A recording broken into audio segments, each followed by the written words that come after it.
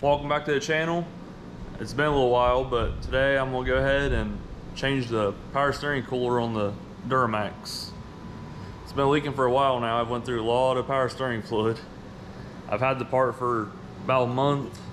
I just been kind of busy, haven't had time to do it, so I'm gonna make some time today. So I don't know if you can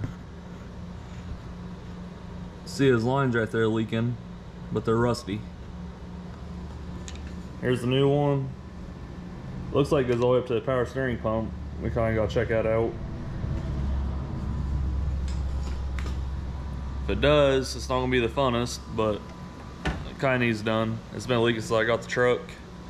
So we're gonna go ahead and get the hood popped and start removing the grill and see where it takes us.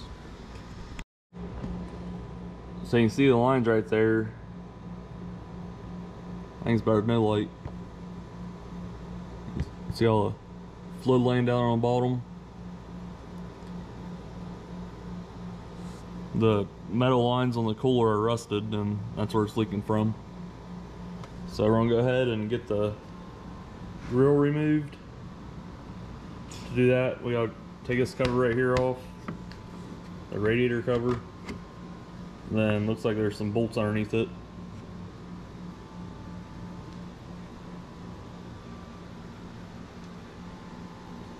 Then remove this cover, you just take the clips out that's everywhere. So I'm gonna go ahead and do that real quick. Then tell you what the next step is.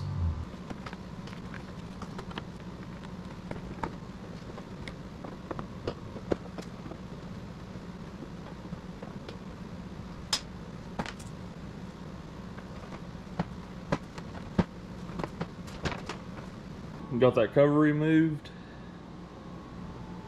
I ended up dropping one clip down there, so I have to get that when the grill's out. Alright, looks like there is four 10 millimeters on the top. Then if I had to guess, yeah, there's clips right here. So you unbolt the top, then unclip the bottom.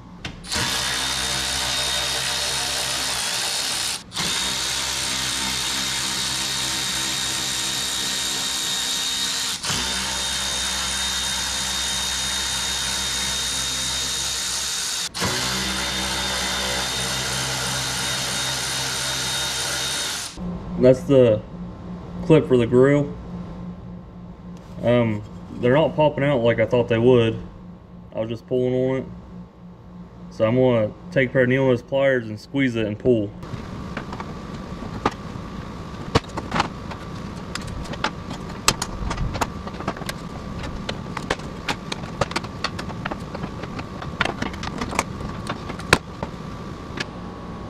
So that was a piece of cake. Now that was a pretty big pain, those clips. One goes there.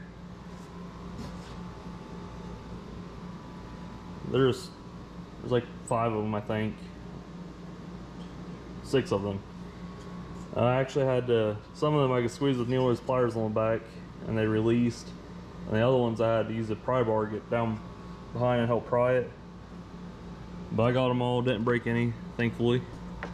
So now you can see all the power steering fluids right here. I'm thinking it's leaking right behind this. Looks like you take that 10 millimeter bolt out. There's one here. Then your lines go right up along your radiator and your intercooler. Oh, these ones ain't hose clamped on. I was thinking about just keeping the old rubber hoses, but these ones are all crimped. So that means I'm gonna have to take them off the power steering pump. One's right here. Then I imagine the other one's on bottom. Or it's actually on the pump. Sorry, that's the reservoir. So I'm gonna go ahead and try to get this out. Any easy way I find, I'll let you guys know.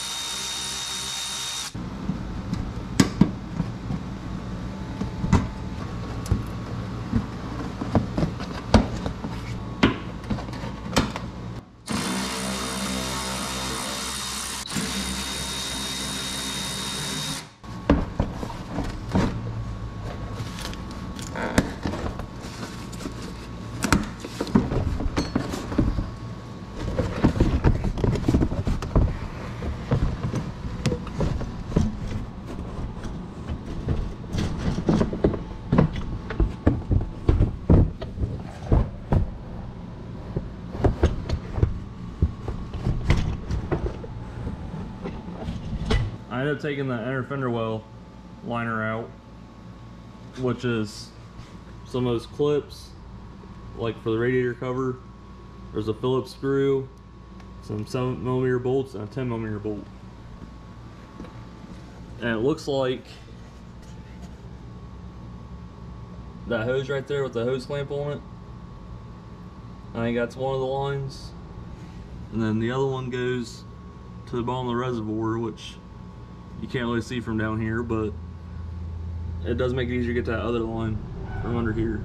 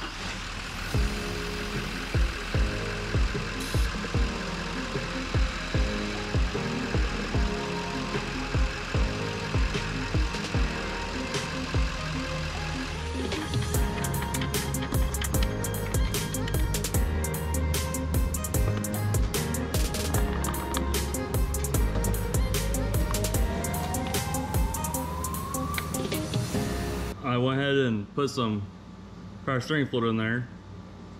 The hose clamps that come on the new one, they're Phillips. They're not the squeeze springy kind. So make sure you loosen those before you try to put them on. they're kind of a pain to get to down there. Then this one down here,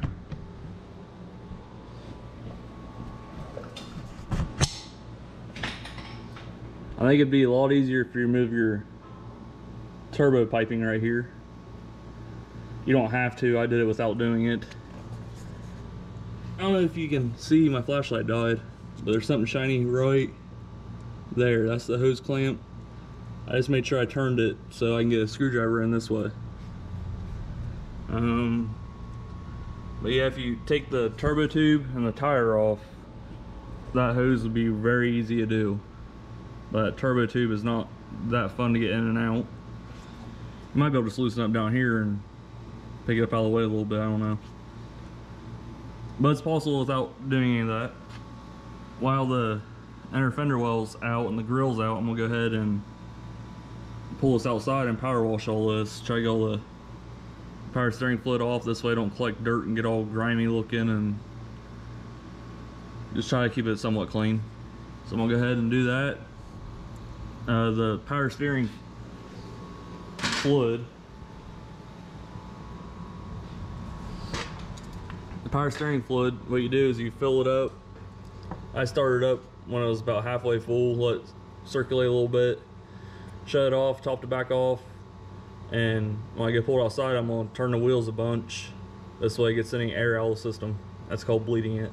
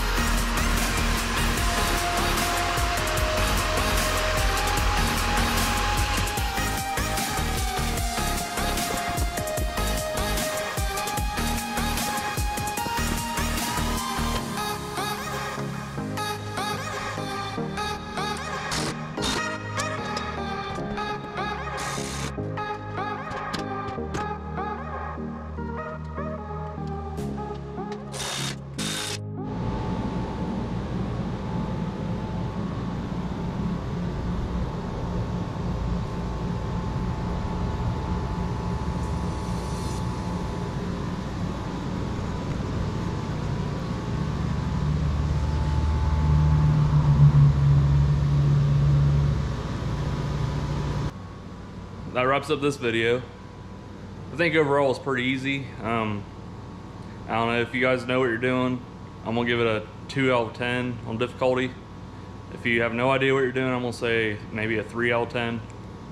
The hardest part is probably gonna be that turbo tubing. So if you have a gasoline truck, it's gonna be a piece of cake. But I think that's about everything. If you guys got any questions, go leave me a comment. I'll try to help you out best I can. I normally reply pretty quickly. Um, if you enjoy the video, give me a thumbs up if it helped any. And if you want to see more, go ahead and subscribe. You guys have a good one.